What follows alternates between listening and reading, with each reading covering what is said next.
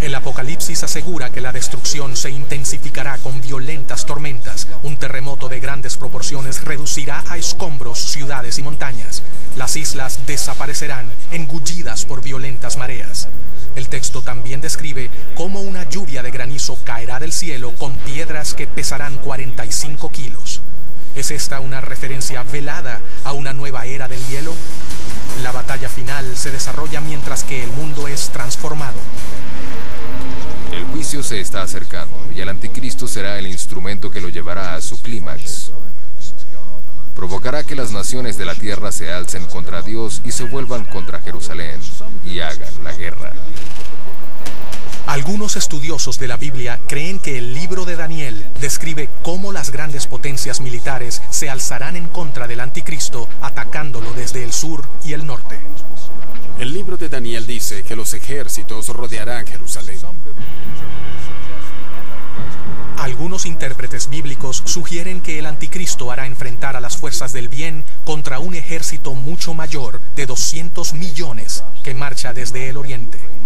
Atravesarán el seco río Éufrates y se reunirán en un lugar llamado Armegido, que se encuentra al norte de Jerusalén.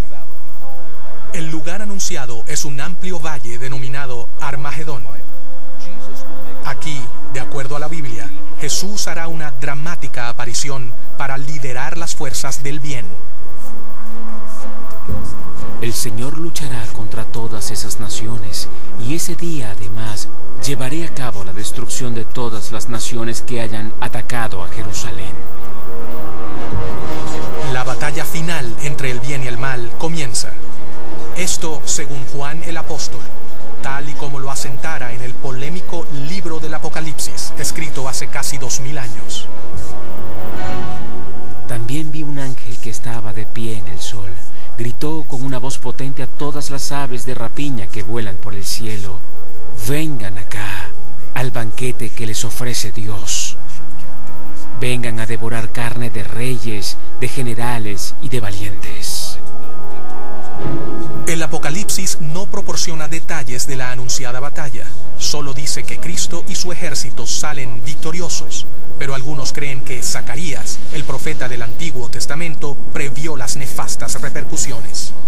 Se pudrirá su carne mientras aún se mantienen en pie, sus ojos se descompondrán dentro de sus órbitas y su lengua se echará a perder en su misma boca.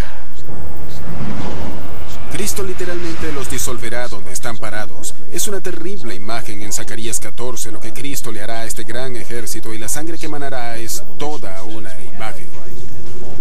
El Apocalipsis asegura que el anticristo y el falso profeta serán destruidos y que Satanás será encadenado, apresado y despojado de todo su poder.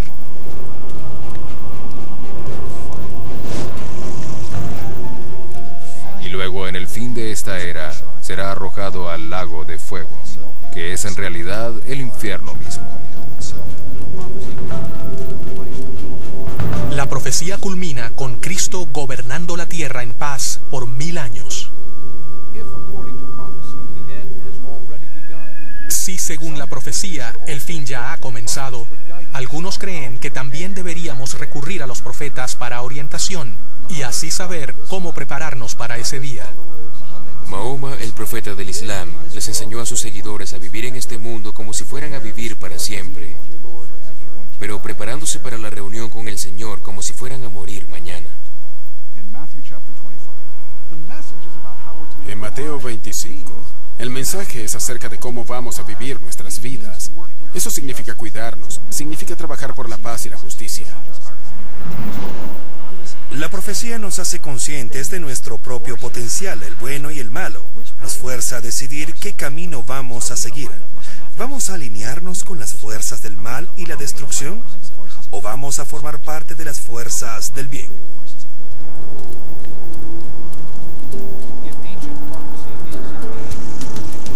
Si la antigua profecía de hecho coincide con la historia reciente y la batalla del Armagedón pronto se librará, algunos pueden ver esto como una oportunidad de considerar cómo cambiar nuestras vidas a medida que se acerca la hora del fin.